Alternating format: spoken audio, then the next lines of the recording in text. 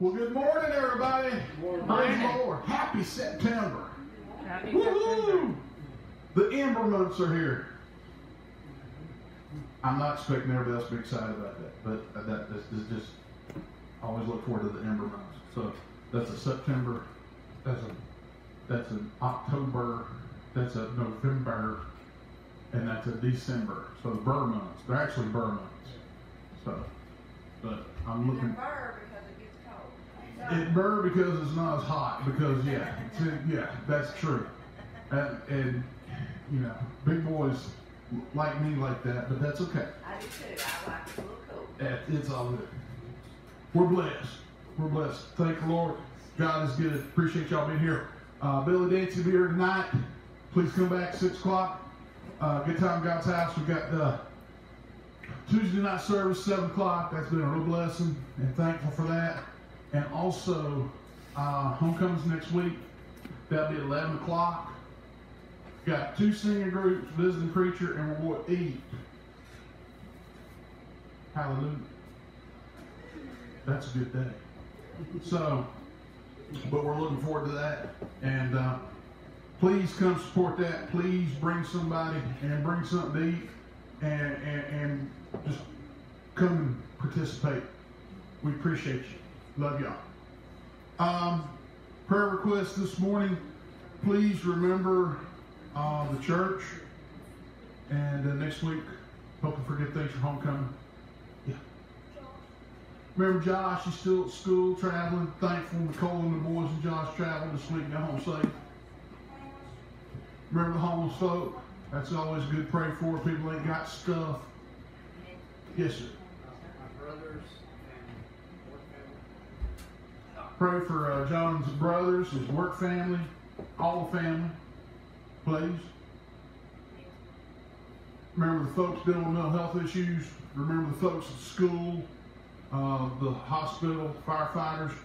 Remember Miss Martha, Yeah, I do remember her, she's not feeling well this week. Miss Miss Martha. She's a blessing to me. Remember all the Blevins family. Remember uh, um, told Terry this week, Terry Dakota, asked the Lord blessings on them, just them. Um, remember my friend Brianna, remember my friend Jamie, friend Greg. Um, ask some blessings on them. Um, Remember the church family. church family, please remember them definitely. Ask for prayers and blessings on them. Remember, uh, James Dixon and, uh, Lisa Brown. Remember, yep, remember Jay Dixon, Lisa Brown, please remember them. Yeah, pray for them. Good seeing Kim this morning. Good to be here. Thank you everyone for the prayer. Yes. Miss Glenn. Yeah, and, and pray, pray for Glonna as Keep well. praying, yes. Pray for mom. Yeah, yeah, definitely, definitely. Anybody else this morning? Pray for Donna's mom. Yeah, my mom. She's just, you know. and Mama her Laura. too, She's just kind of going down. Right. Yeah. Yes, sir. The church family. yeah, yep, church family, def, def. Uh, Mount Pisgah Baptist Church. Mount Pisgah Baptist Church. Um, they're doing. Uh, it's back there on the uh, board. There's a uh, benefit singing. It's the uh, 15th over at uh, West Side, which is on 18, heading toward. It's the crosses. The church got three crosses up on the hill. Um, heading out of town. Heading. It's in town, It's, but it's behind the old city tire, right? yeah, behind the old city tower. There you go. Thank you, honey. Uh, they're having a benefit scene um, over there on the 15th to help some folks out. Good to see you this morning. Bless you, brother. Appreciate you, man. Really do. Um, anybody else this morning? Prayer request. Remember the situation with Angie's house?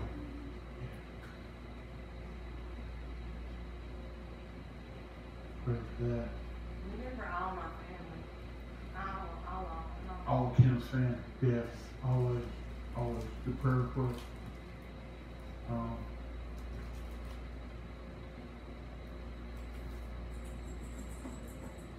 anybody else this morning? Any unspoken on this wonderful morning? Let's pray this morning. Lord Jesus, we love praise you. Thank you, Lord, for grace. Thank you, Lord, for mercy. Thank you, Lord, for love. Thank you, Lord, for provision. Thank you, Lord, for all that you do for us. God, you're so good to us. Lord Jesus, I ask you, Lord, touch these, touch these prayer requests, Lord God. Lord, there's such a need, Lord Jesus, for you and all you do, Lord Jesus. Lord God, you see the, you see the things, Lord God, that we pray for. You see the things we request. You see the things, Lord, draw nearest to our heart. Lord Jesus, I just ask, Lord, bless this day, bless these requests, and let everything be uplifted to you. And God, we give you praise and again, thank you by faith and all the things you blessed us with and all the things you bless us to come. We worship you, Lord, and thank you for thank you for one month by name. Amen.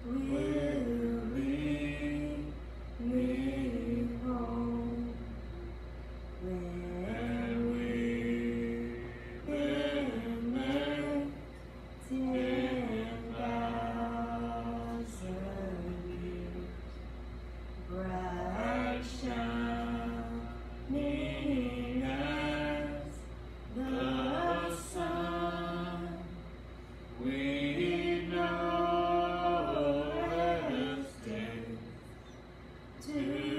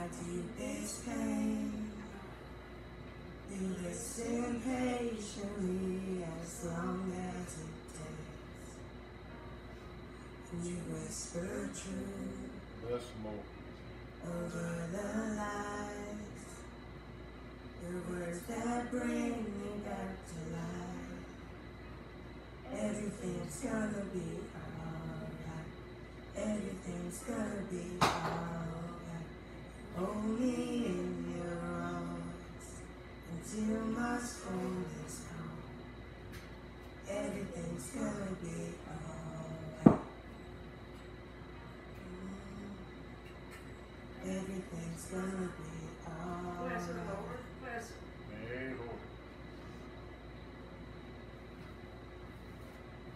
You are the strength when I am weak, the only one who leads my soul to perfect peace, and I will sing my way through the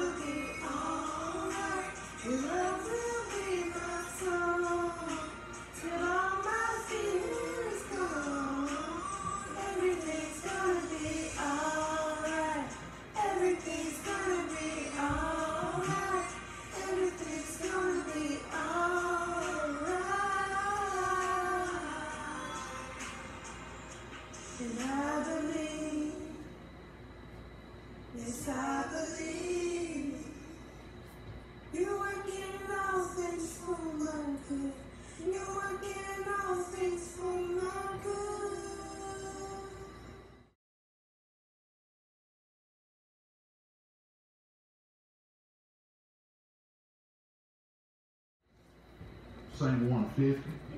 I love this song. He's the dearest friend I ever had. When I was drifting out in sin, I had no peace, no joy within.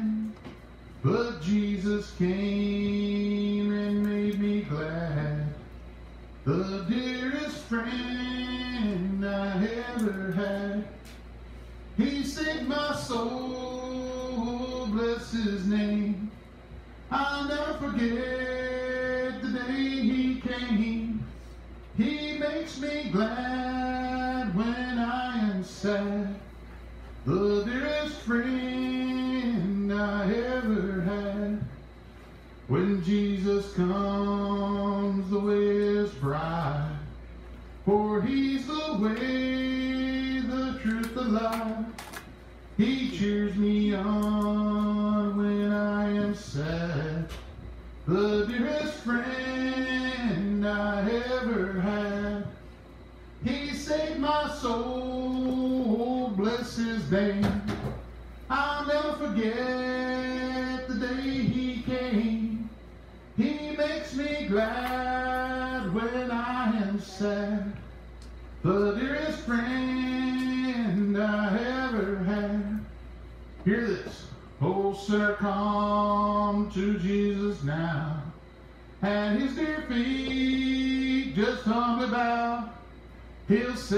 soul and make you glad. The dearest friend I ever had. He saves my soul, oh, bless his name. I'll never forget the day he came. He makes me glad when I am sad. The dearest friend I ever had. I'll sing that chorus again. He saves my soul, bless his name. I'll never forget the day he came. He makes me glad when I am sad. The dearest friend I ever had. He's the dearest friend any of us will ever have. Praise the Lord. Five steps of holy living. Five steps of holy living. I tell you, I, I like checklists. More than I like things I can look at and say, did this, did that, did this, did that. Check them off, check them off, check them off. I like that. That makes me happy. That gives me a sense of purpose. That gives me a sense of fulfillment. I can look back. I did this today. I did that today. We left house this morning, Dennis. I was like, we have Sunday school this morning. We have church this morning. Gonna come home, go eat, probably watch a race, hang out on couch a little bit, come back night, six o'clock, go have more church. Praise the Lord. Got a plan. I got a plan. Go watch football game tonight. Happy about that. Football season's back. Your preacher, Pastor Fred, he's happier now. That's his sport. Life's good. I hung out on the couch yesterday, watched, watched football all day. That was excellent. Praise the Lord. I know there's some people say, man, just wasted the whole day. Hug my neck. It'd be good. Love y'all. Blessed in the Lord. But there's five steps. I want to give you these steps. You can go to the Lord and say, Lord, I'm doing this. You can go to the Lord and say, Lord, I'm doing this. You, you know yourself. You're living a holy life. We need to live in prayer. And Lord God, you bless this sermon. Thank you, Jesus. Love you, Lord. Praying to God attaches one heart and mind to Christ Jesus through wonderful conversation with God. For without His Spirit, we have no hope to succeed.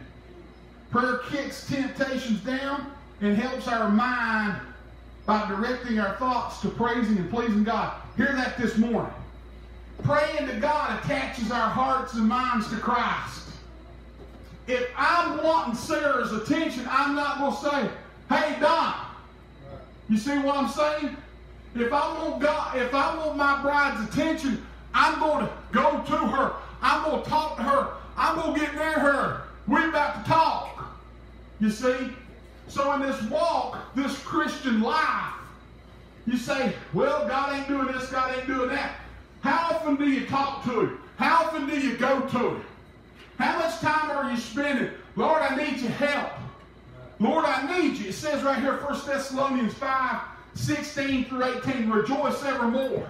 Praise God. I'm happy it's September. I'm happy being house of God. I'm happy to see y'all this morning. I'm happy to have a word to preach.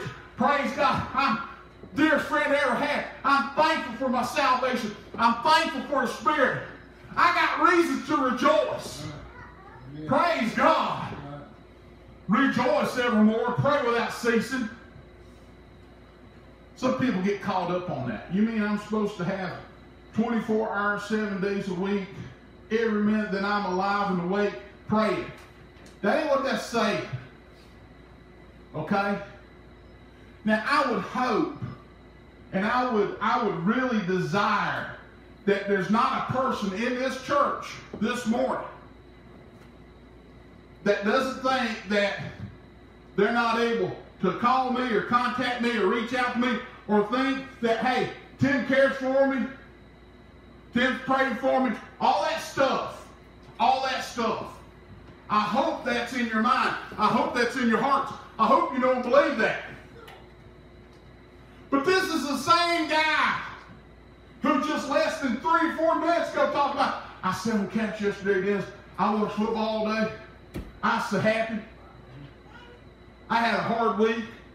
I said to myself, I ain't gonna do anything today.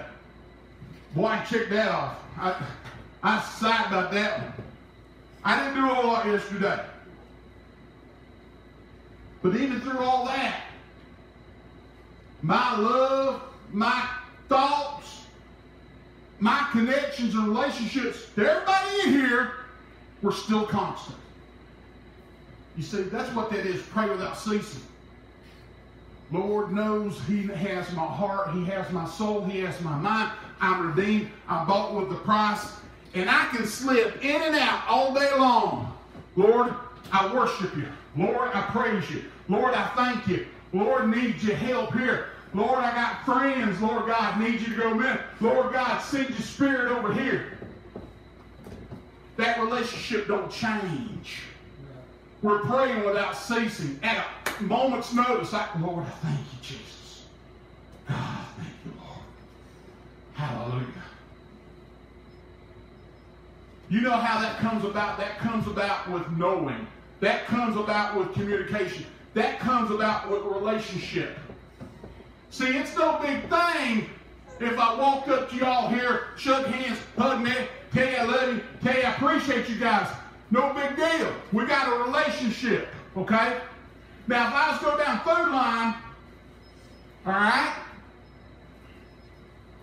and there's somebody I never know, never talked to, maybe they're over there buying bread, and I just walk up to them and say, I love you, start hugging on them.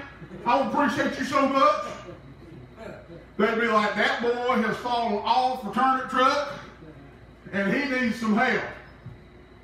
You see, there's no relationship. But when you have a relationship, you can have that continual, continual going on, that continual relationship. It goes, it's without ceasing. The love of Christ don't end, and His Spirit that's within us, it shines forth, it spreads on, it don't end. In everything, give thanks, for this is the will of God in Christ Jesus concerning you. In everything, I had somebody near and dear to me yesterday while I was sitting on couch watch football. Had somebody near dear to me yesterday call me on someone else's phone. And when I looked up, I'm like, why is this person calling me? My first thought was, oh no, something bad has happened. Because this person never calls me. Okay? And I'm like, oh, something's happened. And I pick up the phone, I was like, hey, hey, I'm borrowing so-and-so's phone. Somebody stole my phone. That's why I'm calling you on such and such phone. Just letting you know. And I felt bad for that individual because they mean a lot to me. And Nicole, at the same time, I was thankful that it was just a phone. You know what I'm saying? Because when that face first popped up, I thought, uh-oh, somebody, somebody dead. Somebody's in the hospital. Something bad just happened. Because this person don't call. Okay? And I'm like, okay, okay. And they were bummed out. And I'll tell you something. This little critter right here, if I lost this thing, I'd be bummed out too. Okay? All right? I connect a lot of things, a lot of places. This is good for church. This is good for work. This is good for my personal life. I'm connected to this thing. Now, whether that's a good thing or a bad thing, that's a whole nother debate. There's times I'm excited about that thing. There's times I'm like, I just need to bury that thing out in the yard and be done with it. Okay? But, what does it say? In everything, give thanks. And why should we give thanks this morning? For this is the will of God in Christ Jesus concerning you. Dennis, you know yourself, you try to teach people, you try to show people how to do certain things. If they're thankful, they're more apt to learn. But if you try to teach somebody, somebody, they already know what they're doing, or they think they already know what they're doing. Woo! Has anybody ever been a preacher trying to explain a, a, a, a Bible verse to somebody that was already telling you what that Bible verse already meant? And you be the preacher like, you ain't got a clue what this means, and you got to hold some bad teaching. Anybody ever been there? I get that about once a week, honestly. That's about a once a week deal with somebody. They'll start shouting off, spouting off, something like, wait a minute. That ain't what that means, honey. That ain't what that means, brother. That ain't what that means, sis. It's an interesting spot, Susan. It's interesting. I'll just say interesting. But the Bible's telling me to give thanks. Woo! You know why I should give thanks for that? Because I got an opportunity to help someone grow closer to the Lord. That's a blessing. That's a blessing. You and I had that opportunity once a week, and I told James to remind me, and by telling him, I did remember that don't always happen. Last week's sermon on the back of it. This week I got the fruits of the Spirit and I got the armor of God. I really didn't even talk about the back sheet this week. That's good to hang up on the wall too, by the way. But anyway, I said on the back of last week's sermon, invite one person you've never invited to church, come to church. Invite one person. And boy, your pastor, boy, he he he just hit the mark. He invited one person he'd never invited before. Nailed that. I checked that off. I told James, I said, I'm not going to ask anybody if they did that or not during the sermon. And I'm not. I'm not looking for hands or whatever. What I'm saying is, is that going back to this verse and everything, give thanks for this is the will of God in Christ Jesus concerning you. If I've got something to give thanks for, I'm probably going to let somebody know that. I got blessed this week three or four times. Good bless, blessed as I would expect. Praise the Lord. And I'm thankful for those blessings. And at the same time, I heard two or three things this week I wished I hadn't heard. Ugh. Gives me reason to pray. Gives me reason to go before God gives me reason to stay in constant communication for others. Lord, they need some help. Lord, what a situation. Help us, Lord. Help us, Lord. Live in prayer. One step of holy living. Two step. Now there's more steps than this, folks. I just took five. Create a life that lives in God's Word. God's Word is the only righteous way to build a house grounded by His truth. Without God's revelation in the Bible, we'll never know what the will of God is for us and how Christ saved us from the guilt and the power of sin in our lives. Create a life that lives in God's Word. I had an individual reach out to me this week, and they're not from here, so don't don't be wondering if it was somebody, but they're from down the road a bit. And they were telling me, we used to go to this church, but we don't go to that church anymore because you couldn't even get to the pastor of the church because one, there was so many people there, and two, there was just so much around the guy. It was like almost like going to the Secret Service, seeing people around this guy, and he was always in and out. Of course, that was a big church, and like I said, I'm not naming names, not telling you where it's at. And I replied, I'm like, I'm glad you got away from that me-centric church because I know that I, I know I know the teachings of this place. They they me-centric. What's me-centric? Me-centric is God is taking care of me, and because God's taking care of me, I can do whatever I want to do. Hmm.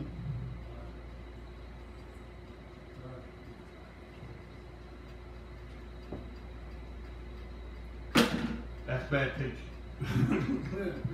That, that's bad teaching. God loves me, and with His Holy Spirit and His precious Word, He can guide my life, and my life can be a reflection of His goodness. That's good teaching. That's good teaching. I was like, you need to get away from that dude. dude. You need to create a life that lives in God's Word. James 4, 6 through 8. but he giveth more grace. Wherefore he saith, God resisteth the proud, but giveth grace unto the humble. And it goes on, it says, the humble, and goes on, it says, submit yourselves therefore to God. Resist the devil, and he will flee from you. Draw nigh to God, and he will draw nigh to you. Cleanse your hands, you sinners. Purify your hearts, you double-minded. There's a lot going on here. Create a life that lives in God's word. What does it start out with? But he giveth more grace. He giveth more undeserved favor. You know why? Because he gives us undeserved favor. He knows we're going to mess up because we still got flesh. We flawed. So he goes into the circumstance thinking, all right, we're going to have stuff to work on. We're going to have stuff to work on. You know why you go to a class? You go to a class to learn something. You ever went to a class and the class and the teacher just expected you to know automatically everything was going on, and then they started rubbing on you and bad mouthing you and getting you down the road? Didn't get much out of that, did you? Said Riley and Sarah this morning. I got two people waving their hands. Yeah. But have you ever had a teacher that had grace? You ever had a teacher that it was warm, it was forgiving, you had room to mess up? Yeah, thank you, right. You had room to mess up. You can learn from that. And that's what God, from the get go, God's like, I'm going to give you grace. I'm going to give you grace. Then what happens? It says, Wherefore he saith, God resisteth the proud, but giveth grace unto the humble. First of all, he's giving you grace, and then he's going to weigh it out. Are you one of them there brothers or sisters better than you? And you need to get some stuff ironed out? Are you one of them brothers or sisters, Lord, help me be all I can be for you? That's home. Okay? So he's resisting the proud. What does it mean by resisting the proud? That means that little knothead's going to come in here and try to act out, and I'm going to keep my eye on this one. And when that knothead starts acting out, they're going to get redirected. But what does it say also? It says, But he giveth grace unto the humble. If you're humble, you get even more grace. There's even more grace. They're trying. They're really trying. I tell husbands this try. Just try. Husbands, try. If you try, your bride will give you grace. All right? If you try with a sincere heart, I've seen it time and time again. They'll be like, well, at least he's working. At least he's doing something. At least he's out there. At least. Hear me now. Submit yourself to God, resist the devil, and he will flee to you. Flee from you. Listen to that. Submit yourself, therefore, to God, resist the devil, and he will flee from you. It's like it's like having a big old, big old stick, buddy. If I can get my hands on that big old stick, buddy, I got something in my hand. I'm going. I got something to fight with. That's one reason I put that armor of God on the back page this week. God's given us implements to fight the devil. It's there. Armor of God.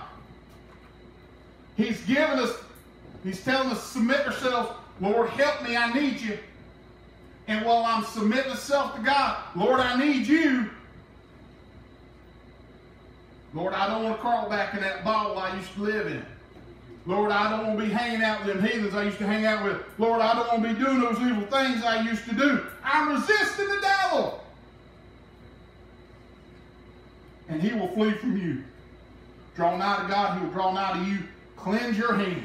Woo, ye sinners, and purify your hearts, ye double-minded. Never really said much about this before. And I don't know how many people actually know this outside Sarah, possibly James in here. I don't like my fingernails to grow long. That drives me bananas. And why that drives me bananas, I don't like dirt under my nails, and I like feeling my fingertips. I type a lot, for one thing, and I like my fingertips. I grab stuff. I like my fingertips. My daddy, my daddy used to let his fingernails grow long.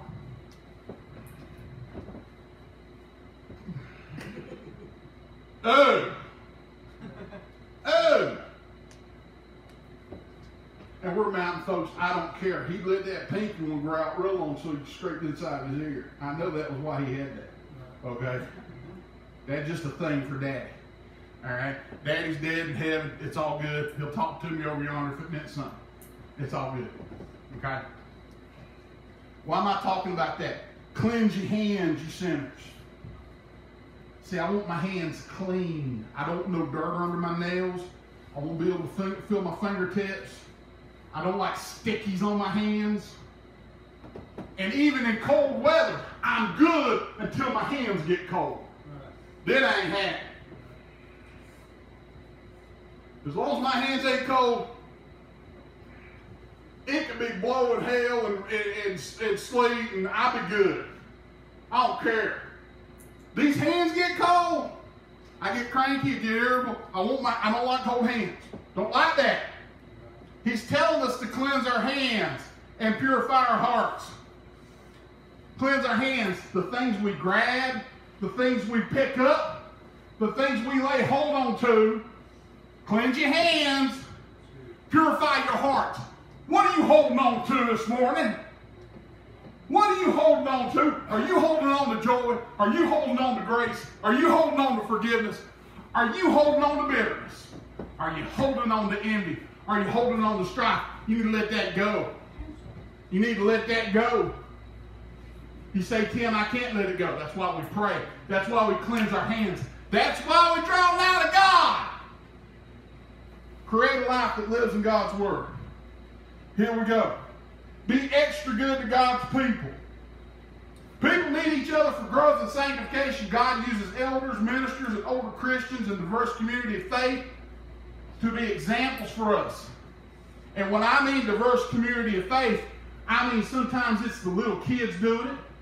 And sometimes it's the preacher, sometimes it's the singer, sometimes it's the folks. They show up every now and then. He uses a lot of different people in a lot of different ways. Okay? A diverse community of faith to be examples for us, showing us the way to go and how to fight sin. We need each other more than we realize. And I underlined this and I put it in bold. John, this is one of the things I had to get over in my Christian life.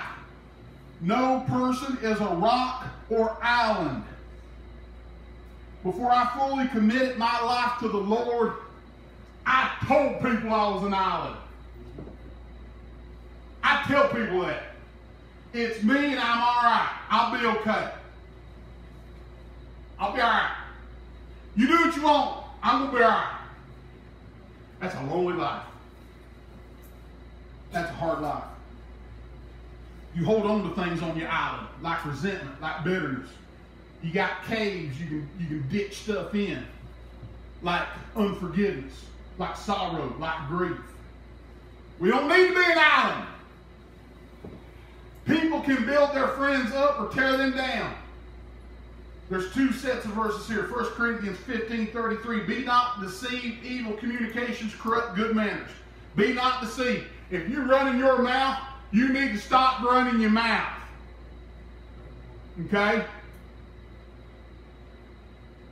James has heard me say this. What good is about to come from what you're about to say? If you're questioning yourself, ask yourself, what good is what I'm about to say? How, what, how's this going to help? How's this going to promote? How's this going to correct? How's this, what, what good's about to come from this? Are you just trying to mow down something just for the sheer joy of mowing down?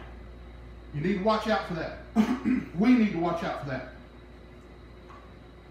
Evil communication corrupts good manners. If I sit here and tell you that I will come to you in peace and love and joy and hope and forgiveness, and then about five minutes later, I'm blowing you out of the water because you don't vote like me, or you don't act like me, or you don't talk like me. I've lost any ability to help. Mm-hmm. I've, I've, I just burnt my witness. Be careful, please. Let us all be careful. Hebrews 10 24 through 25. And let us consider one another to provoke unto love and good works, not forsaking the assembly of ourselves together, as manner of some is, but exhorting one another, and so much the more as ye see the day approaching. It gives joy to my heart when I see this congregation talking to one another and being friendly to one another and shaking hands and being glad to see one another. I have been in churches, I have been in workplaces, I have been in homes of people where you walk into that place and it's like walking into a cooler. It's cold. There is no joy. There is no hope. Nothing good going on here. And then I walk in, and, and, God bless this church, and God bless you for making it. I ain't giving myself credit. Give God credit for one thing. Give y'all thanks for that as well. Because me and James, I, I had the church, sometimes two or three months back, we went out somewhere to this church. I looked at James, I said, my church friendlier than this place.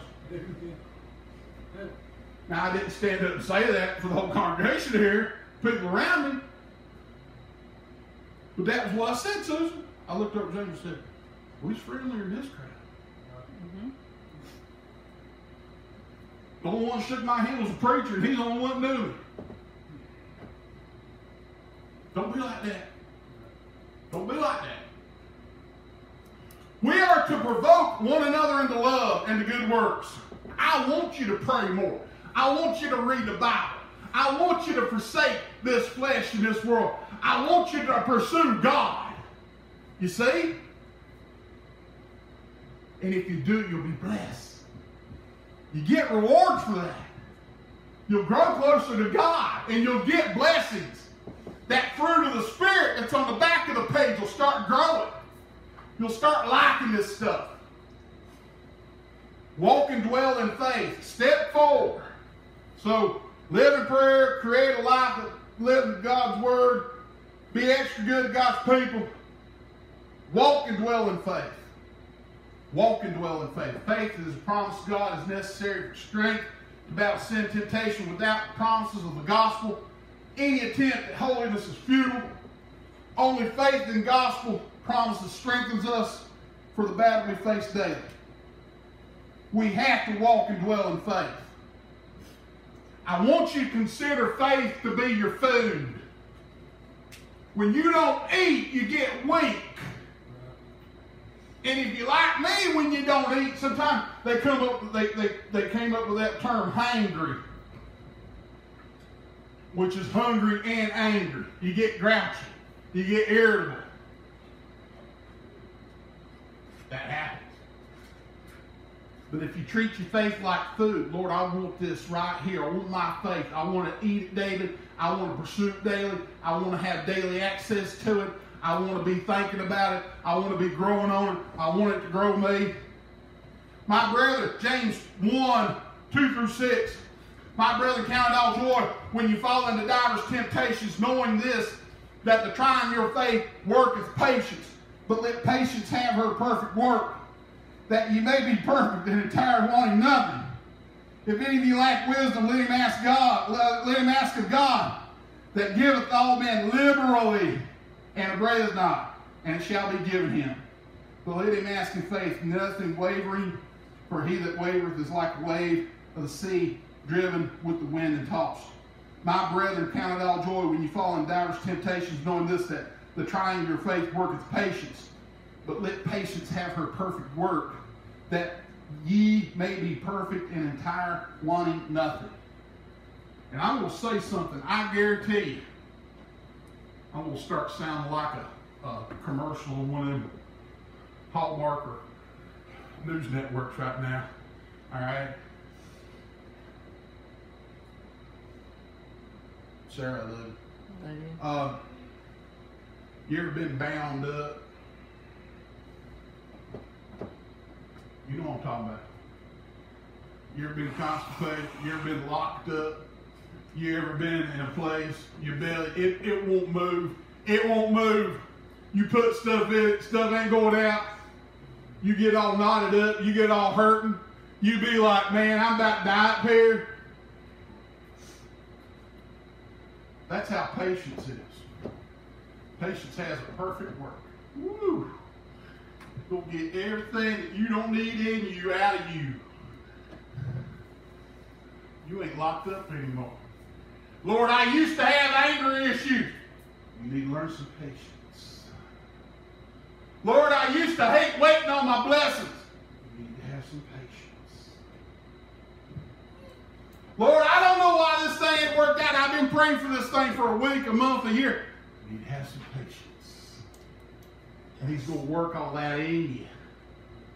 And that thing that's locked you up spiritually, that thing that's blocked you up spiritually, that thing that's hurting you, ain't making you healthy.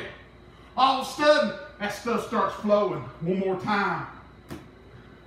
You start flowing. And those things that keep kept you bound up might be bitterness, might be lack of faith, might be hardship, might be suffering, might be something you ain't crazy dealing with. All of a sudden, God starts working that stuff out of you.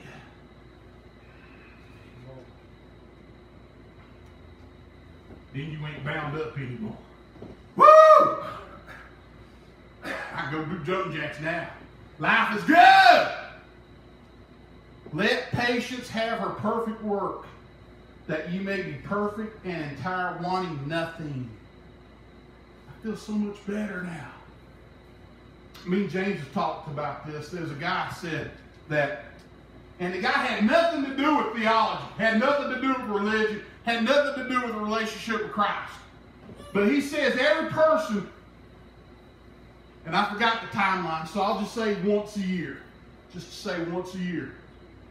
For three days, you just drink water. You should just drink water three days. Clean out the toxins, clean out the chemicals, clean out the body. No food! Three days. Drink water. Three days. Drink water. You need to purify yourself. You need to cleanse yourself. It ain't easy to cleanse yourself. It ain't easy to purify yourself. That's why we need God. He's the only one that can do it.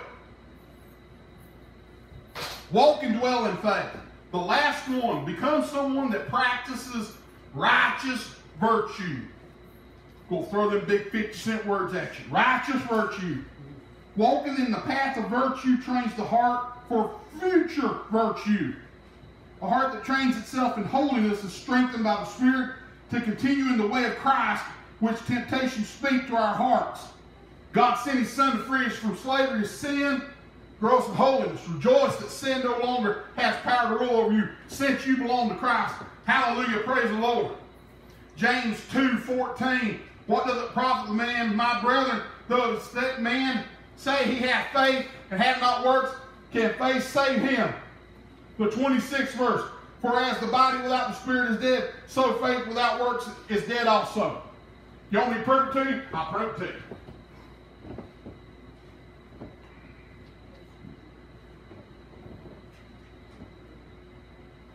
Let's go all the way back.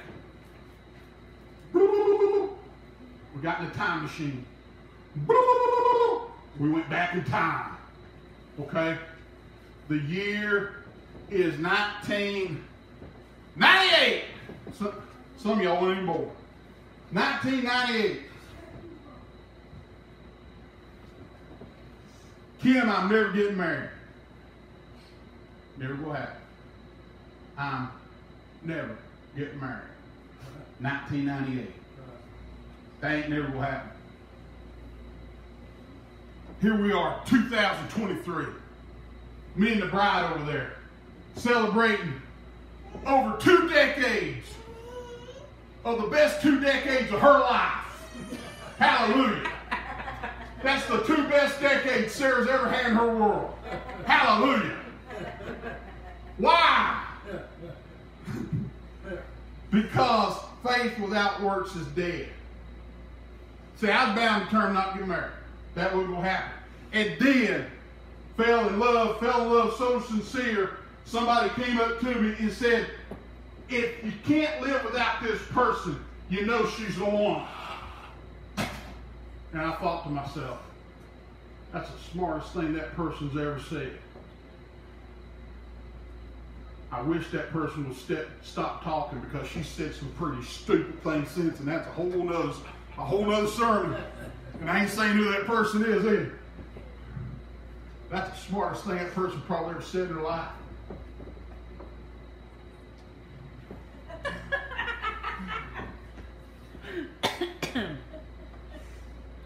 Yeah, I haven't seen nobody, man. It made sense to me. I can't live without that person. Let's do it. So I call her up on the phone and say, hey, let's get married. Ain't seen her in like five years. Hey, let's get married. I've skipped a lot of context. And she's like, you skipped a lot of context. I'm getting to the point. So, now when I was ready to get married in February 2001, 2000. 2000, love my wife. When I was ready to get married in February 2000, I was like, we need to get married. I'm ready now. Let's do this.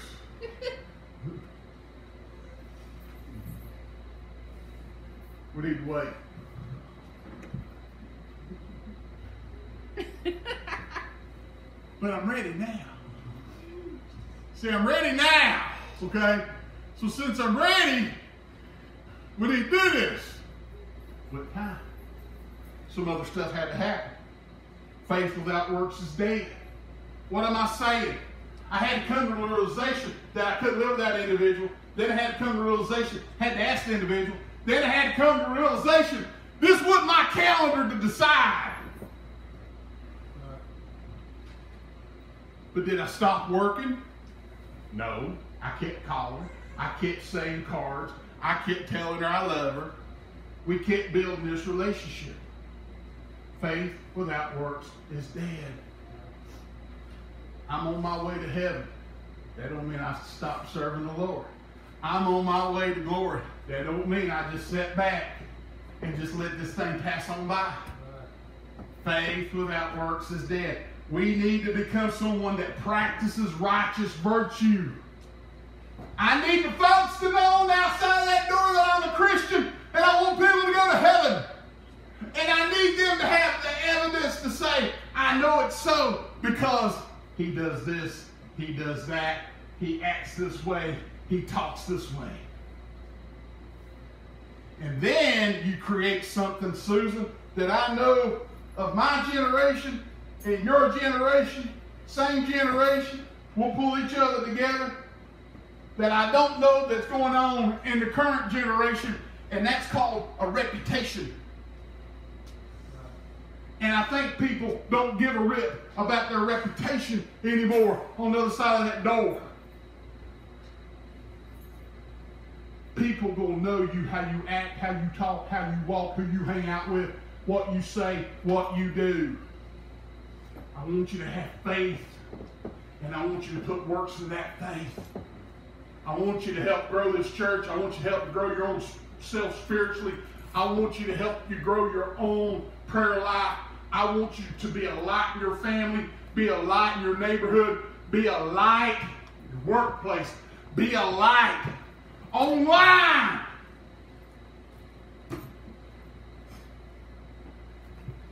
Glorious situation. Someone came visit me. I hadn't seen since 1988.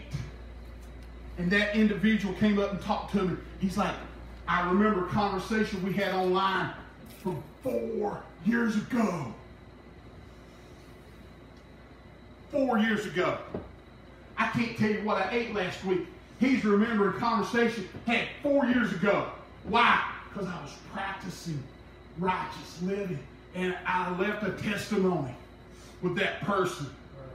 And then four years later, that person comes up to me. I remember that conversation we had. Hallelujah. Hallelujah. Five steps to holy living. Live in prayer, create a life that lives in God's word, be extra good to God's people, walk and dwell in faith, and become someone that practices righteous virtue. Let's pray this morning. Heavenly Father, we love you. Lord Jesus, I need this in my life and I need it to grow. And Lord God, I want it to grow not only in my life, but my family's life, and my congregation's life, and the people around me's life. And Lord, let it all be just growing up and giving you glory. Lord Jesus, Lord, there be anybody here this morning need salvation. Let this be the day of salvation. Anybody need prayer for anything, let us come together and pray. Lord, it's so. Please come.